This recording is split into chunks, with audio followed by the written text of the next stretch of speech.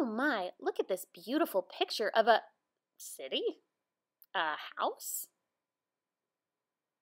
a playground. What's wrong with these pictures? Hmm, something doesn't seem quite right. I would like you to turn and talk to your neighbor, and we're going to discuss what is wrong with each picture you just saw and how we can fix it.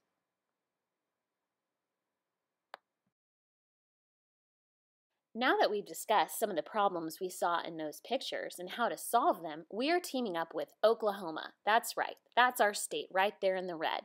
Oklahoma does something to help prevent litter and garbage in our state.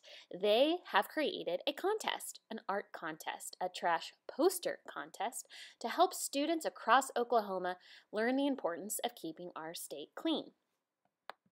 Here are the winners from last year. Strut your trash to the can. Notice how the space is completely colored in and filled. The words are spelled correctly. Being green is staying clean. Again, notice how the space is filled and completely colored in. Littering is bad. You can read it, and it's colored in completely. This is a winner from Bixby Central Elementary, an honorable mention. Why am I sitting in all this trash when I can clean it up in a flash? That came from our school. Congratulations. You can be a winner. Move your trash to the can. What's the deal? Pickle up your trash. That's a play on words, a dill pickle. It's picking up trash. What, are you nuts? The nut is throwing trash on the ground. That is also playing with words.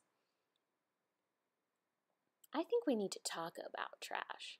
This is a taco, and the taco is saying, let's talk about. Instead of spelling it talk about, they spelled it taco about. Uh, again, that is playing with words to make something funny or witty. You can come up with an idea similar to this if you'd like. Now, 14 students will be awarded cash prizes up to $250.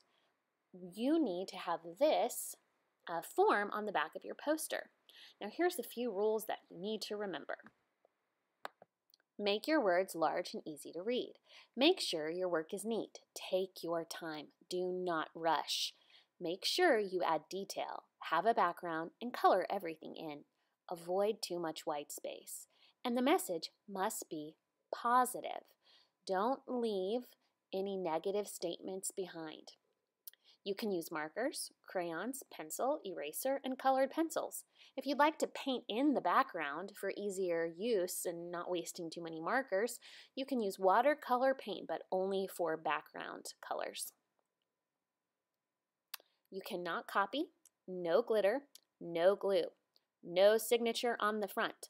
Also, no copyrighted material, no SpongeBob, no Pokemon, nothing that you can buy at a store. Spelling and grammar must be correct, so you'll, you might need to get this checked with Miss Highland or Mr. Brandt. Positive messages, good lettering, easy to read, and bright, bold colors. Make sure things are not drawn too small, but large. Here is an example of what you'll be doing today. You will be making a rough draft. That is a plan on a piece of um, paper that is smaller than the actual poster. Here on my plan, I'm drawing a sketch of what I think I want on my poster. I write, you can do it. I draw a rough idea of what I want to put on my poster. Now on this plan, I'm not coloring it in. I'm not adding any color. I'm just having it checked by Miss Highland to see if the writing is correct. If it is correct, I will get a larger size piece of paper and I can go and begin work on that. But I have to check all spelling.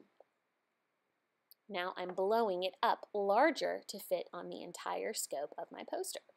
I'm taking my plan and resketching it on my large poster. I go in after I have sketched out my plan and made sure everything is spelled right and add an outline. You might not be doing this today. You might be coming up with your idea for quite a while. Then I outline all the words so you can see it. You can do this in marker, colored pencil, crayon. Now when you color in, make sure that you are using the fat side of the marker. This will save you a lot of time.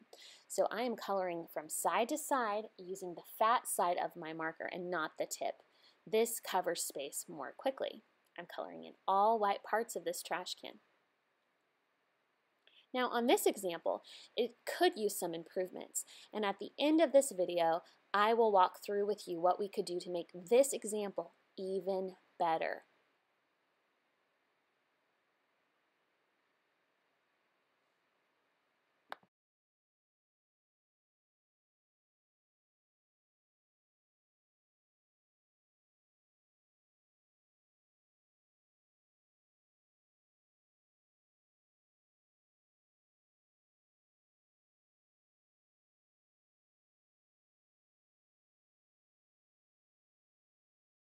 Color in details, and then I take my poster to Miss Highland to check and see what I can do to make it even better.